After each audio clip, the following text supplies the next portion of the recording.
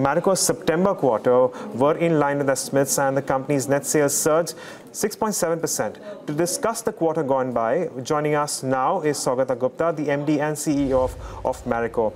Uh, Saugata, thank you for joining us this morning.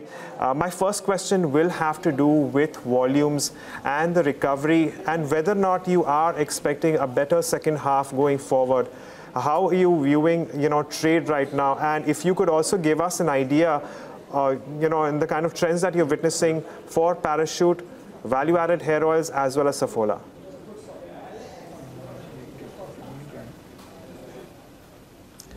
So I think uh, we had a near normal quarter two.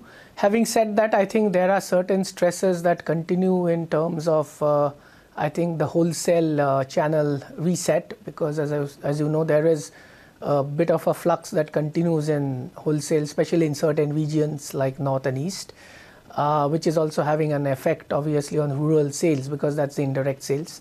Uh, there is some flux in CSD. So uh, having said that I would say that uh, there would be near normal conditions in the second half and we should be able to continue to deliver 8 to 10% volume growth in the second half.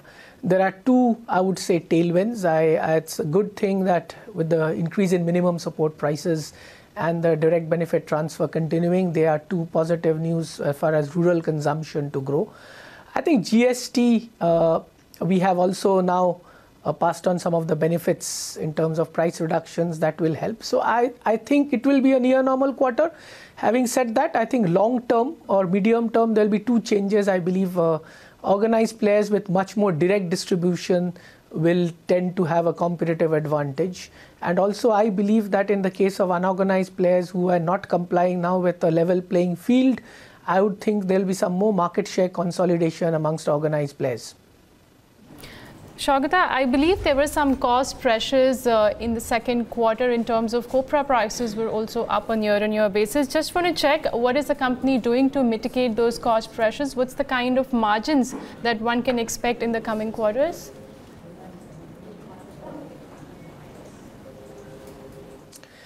So if you really look at it, uh, as an organization, we always choose volume over short-term margins we believe that uh, we wanted the situation to stabilize in the post GST era, and we have, as you know, yes, there has been an 84% increase in copra prices. We have taken a 10% hike.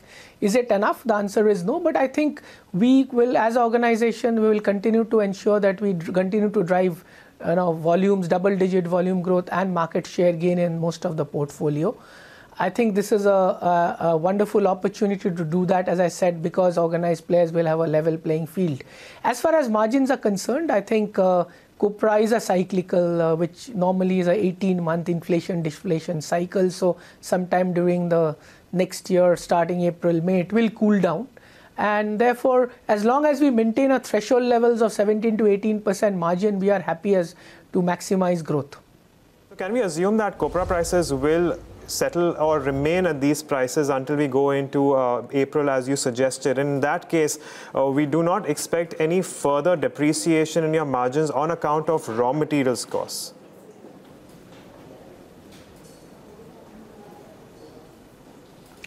See, I think as I said that we we want to keep a threshold level of 17 to 18 percent margins. We want to maximize growth, and as I said, uh, as I said that we believe that the right margin to the consumer, given that there are opportunities, especially for rural consumption to grow up, is a good opportunity to maximize volumes. Uh, Saugata, I also had a question on uh, you know potential price hikes in the second half of this financial year. You said that you want to concentrate on your volumes and perhaps also uh, build on your market share further. Uh, what does that do to pricing uh, on, on several of your uh, product ranges in the second half of this financial year?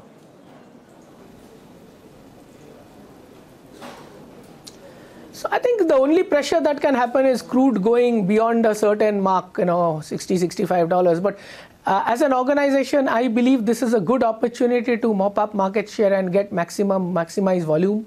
Uh, so I don't see any price increases happening because I think one of the things we must do is to get back consumption to the original levels. Uh, I think uh, if you really look at uh, one of the issues that has been facing the sector in the terms of rural consumption. I, I believe there are certainly some strong stimuli which the government has given to boost uh, rural consumption. And therefore, I don't see any price increases happening in the next six months. Saugata, my last question to you. Uh, are the trade channels now functioning normally or there is still a bit of disruption that you're witnessing in the current quarter as well?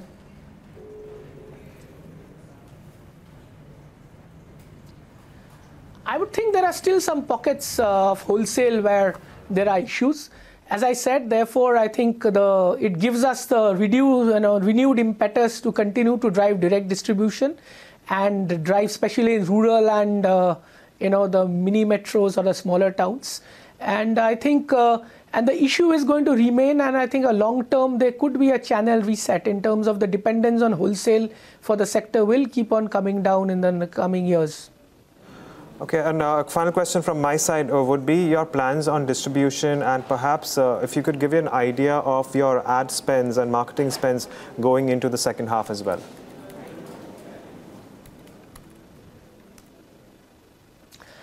I think on distribution, we are doing two things. I think uh, one is leveraging IT. I believe that IT and digital has significant potential to maximize distribution effectiveness. As far as uh, distribution expansion is concerned, we have a twin pronged strategy. The first one in urban towns, in line with our new portfolio, we are under indexed on chemist, cosmetic, uh, and food outlets where we need to increase our distribution. And I think the post GST has given us a fresh thrust, uh, a need for a fresh thrust to have direct rural distribution. I think we had done a rural uh, expansion in the last couple of years. We had put a stop to that, but I think post the GST uh, restructuring, I think it's important that we give a renewed thrust to expanding direct reach in rural. As regards the ad spends, I think uh, you have to look at like to like because uh, I would say that it will continue to remain in the 11 to 12 percent. But uh, given in the next couple of years with our renewed focus on innovation and premiumization of the portfolio, it might go 100 basis points higher over the next two to two to three years. All right, Saugata, we leave it at that note. All the best for the second half of this fiscal. That was the management of Marico. Clearly, GST implementation has not augured well for a lot of these companies. There has been a disruption in the trade channels, clearly highlighted by Saugata.